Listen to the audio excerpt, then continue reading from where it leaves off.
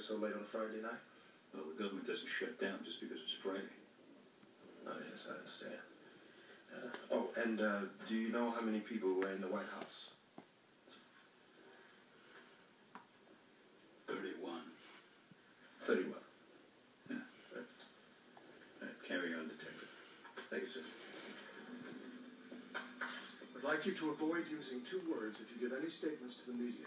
The words are woman and murder. You say all information will be forthcoming on an appropriate and timely basis. Punch words are Oh, proper. Mr. Spikey, sir. We did not refer to I'm going to need everything you have this. What she was working on. Yet was material. Well, this is D.C., and fortunately, she's mine. She was murdered in the White House on some alley out in the southeast. She was killed in my city.